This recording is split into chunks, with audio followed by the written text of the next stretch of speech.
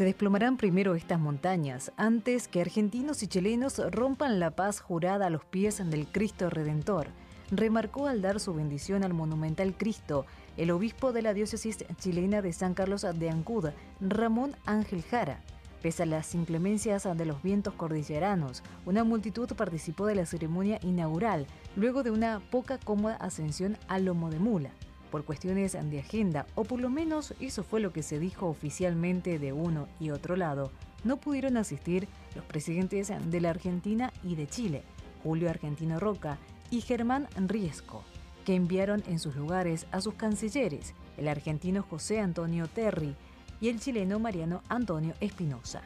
En Buenos Aires se construyó esta pieza de bronce por pedido de Monseñor Benavente, Parte de este bronce utilizado para la estatua provino de los cañones de la Guerra del Paraguay, otro símbolo de paz fundido en las entrañas del Redentor de los Andes. Las piezas del Cristo se transportaron 1.320 kilómetros por tren desde Buenos Aires hasta cerca de las cuevas a 8,5 kilómetros del sitio de emplazamiento y luego se la subió a lomo de mula hasta la cumbre andina a 3.854 metros. La figura de Jesús quedó colocada de manera que mirara siguiendo la línea del límite, en pie sobre la mitad de un globo terráqueo. Como se puede ver hoy, con la mano izquierda sostiene la cruz, de 7 metros de altura, apoyada sobre el hemisferio terrestre, y con la derecha parece impartir la bendición.